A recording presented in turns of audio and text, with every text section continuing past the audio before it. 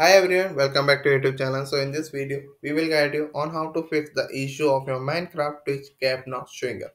If you are a Minecraft player who use a Twitch, so you have may encounter this frustrating problem where your cap doesn't appear in the game. So we will provide you a step-by-step instruction to help you troubleshoot and resolve the issue.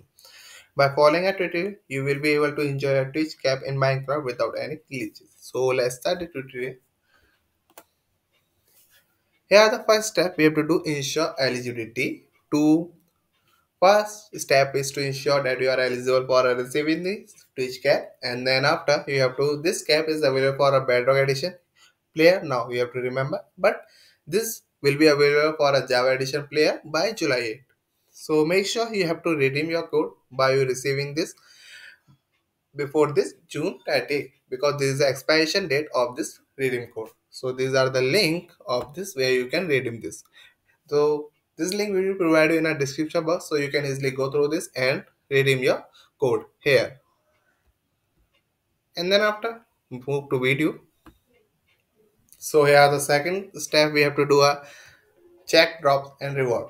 If your watch is a streamer with a drop program active for at least 15 minutes, you should check your drop and reward inventory on a Twitch. If the cap is there, redeem it and follow the instruction to receive it in your Minecraft game. In step 3, we have to do check your Minecraft launcher and website. After redeeming this code, check your Minecraft launcher and website to see if the cap is listed under your skin or a cap section. If it's not there, try reloading your game or checking again later.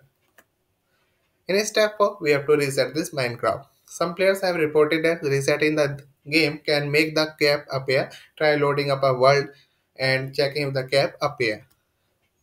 So in step 5, we have to do check for cap assignment.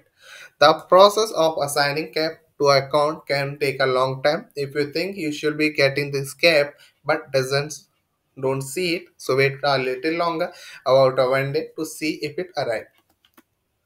So these are some simple steps you have to do when you tackle this problem of your Minecraft Twitch cap not is showing up. So thank you for watching our video. I hope you like it and we will catch you in our next video with further information.